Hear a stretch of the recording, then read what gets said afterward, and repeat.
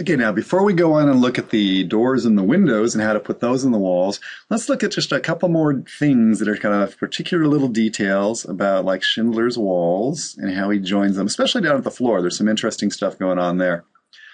You'll see that down at the floor, he has oh, some sort of finished floor. I'll guess it's about an inch of hardwood, or even down here, you'll see he has a detail where it's a more linoleum kind of rolled back up under to a little bit of a stucco stop there kind of probably in bathrooms and kitchens and places where we wanted kind of a, a waterproof surface or a water resistant surface.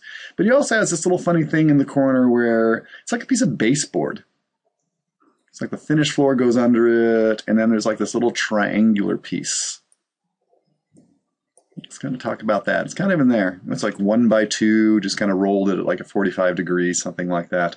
Okay, that piece right down here, that's a little piece of what I'll call stucco stop. What happens is you don't actually want to run your stucco or your uh, like plaster right on down to the floor. Um, just as the house moves and settles and things like that, you get cracking in it. So it's better actually to leave a gap or put a little piece of wood in there. Just something so you're not running, you know, stucco down to a 90 degree like perpendicular angle. You have a cracking problem later. But let's see if we can go through and model some of these things. So for example, let's come back over and think about the finished floor. This is all the subfloor right now. If I want to go through and put the finished floor in the way that Schindler put the finished floor in, which is sort of between the walls, he actually went through and, again, looking back at his detail, you know, ran the subfloor or ran the studs all the way down to the subfloor, which is still the way we do it, and then put the finished floor between. That's a more accurate model of how we do this. What we can do is as follows. Let's go through and actually create another floor.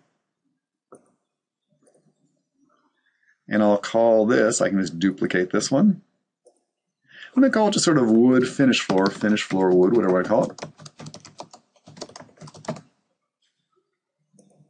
And this is going to be, oh, let's say that it's only about 0 foot 1 inches.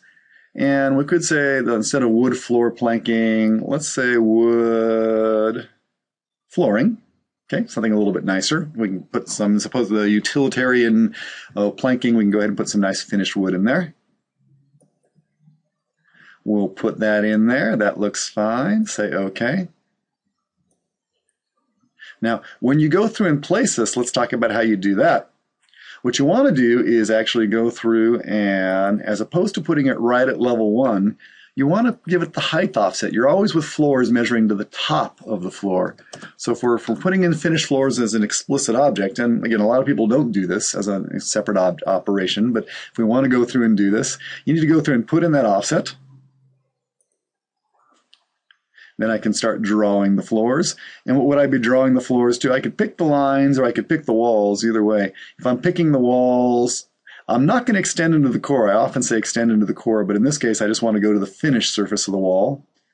So I can, uh, oh, go to the finished surface of that wall and maybe the finished surface of this wall because I really want it to be between, not actually into the wall.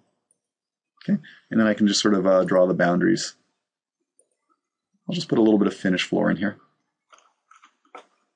And the reason, again, we don't tend to do this for a lot of houses is if you have to go through and put the floor in on every house in every different room, it gets to be a lot of work to sort of put the finished floors in there.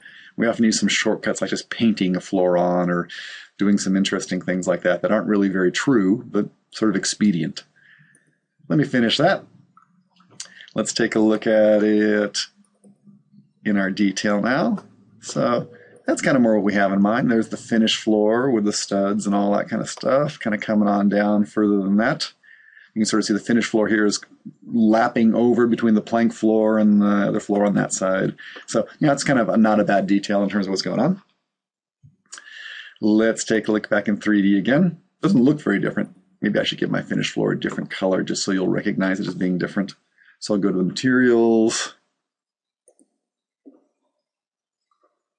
And for my flooring, I could choose a different color. I'm just going to shade it for now so you can sort of see the difference. Okay, so we can see where the finished floor is versus the uh, non-finished floor. Okay. The final thing we want to think about is that whole issue of that little baseboard piece. And that's kind of a really interesting thing. It's kind of a nice standard thing you can do. Uh, if you put baseboards or oh, crown molding or cornice molding or uh, oh, what do we call it, chair rail in a room, something like that, there's kind of a nice way of doing it. And we do it with a tool called a wall sweep. Let's talk about how a wall sweep works. A wall sweep lets you go through and just basically choose a profile and we have to choose a profile that we're going to put in here. Let me show you what the cornice one looks like. That's not the one we're going to use, but we could use that as a starting point just to show you. I can sort of choose this wall and put it in there. I'll put it on, actually there's not a wall on that side, so you won't see it over there. You can put it on this wall, whatever height you want it to be. The nice thing about a wall sweep is it does this. If you go back and put a door in, or a window, okay, the wall sweep's actually pretty good about removing itself. So it has the hierarchy of things down right, which is pretty good. That's sort of what we want to have happen to our baseboard. So let me take that door out again, and we'll think about how to create this wall sweep. The deal is for this cornice, which is not the one we want to use, we have this whole issue of it has some sort of profile that it's set to, and we can choose all sorts of different profiles that we want to adjust it to. Okay, so what this is really going to start with is by drawing a profile. You sort of keep on getting that message. I keep on drawing profiles of things. So let me cancel out of that.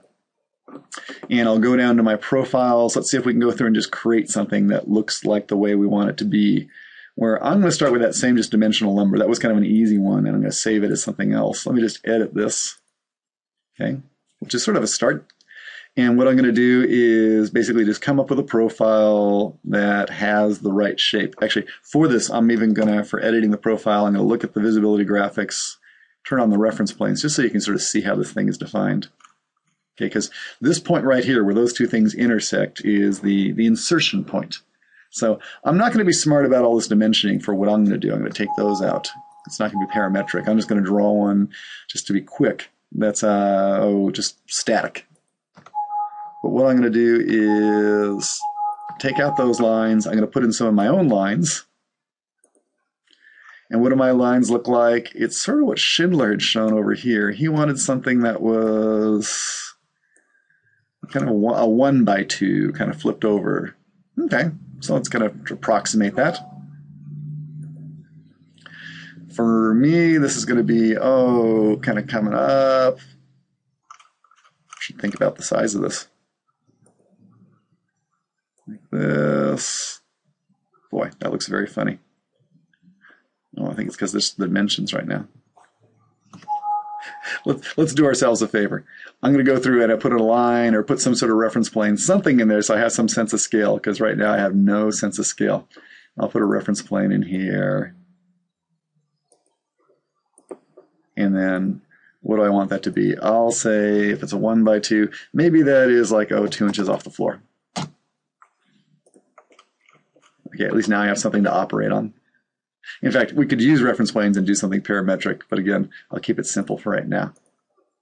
Okay, so I'm going to do something that is, oh, kind of like this, roll on up, roll on down at 45 degrees, come on over. Maybe I'll bring this one down at 45 degrees. Actually, if I didn't, if I was being smart, I'd sort of say, let's do an offset at one inch not 10 feet, 0 foot 1, 0 foot 1. That's funny. Hmm. Which one do you like? 1 inch? Try that. Okay. There it is. And now I can trim those lines up. TR to trim. Okay, that's actually pretty close. Oops, wrong side. Don't do that. Click on the side you want to keep. There we go. Okay, let me save this as. Always save as when you do this. Don't spread over the old one. Let me save this as. And I'm going to say this is going to be my Schindler baseboard profile. Again, we'll use this as a placeholder.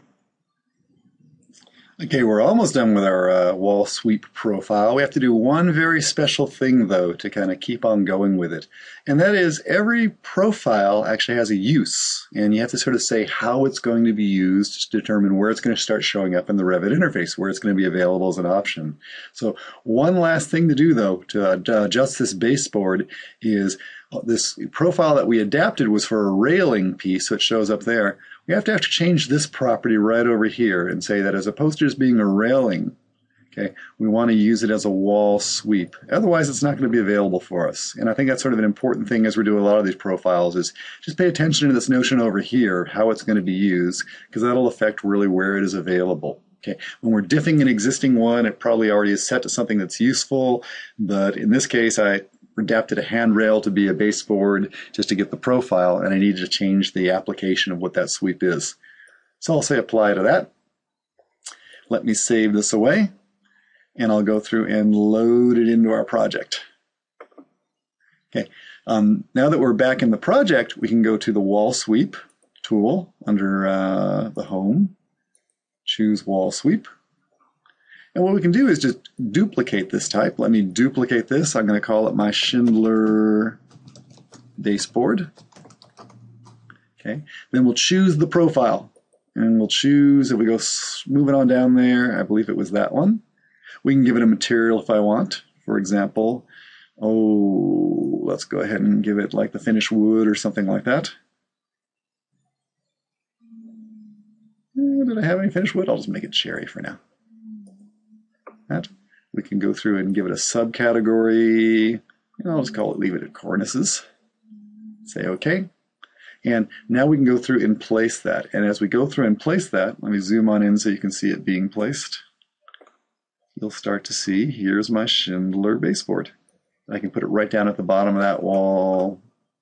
I can put it right down at the bottom of this wall, though I should put it on top of the finished floor. Maybe I'll rub this around a little bit and do it that way. And again, choose the wall sweep tool. And I'll put the Schindler baseboard right here. a little too deep, huh? Let me undo that.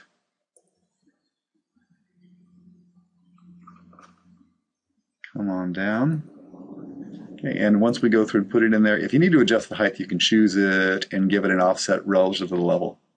Okay, in this case, it's one inch off of the level because we want the base of it to actually be um, just above the finished floor as opposed to inserted into the finished floor.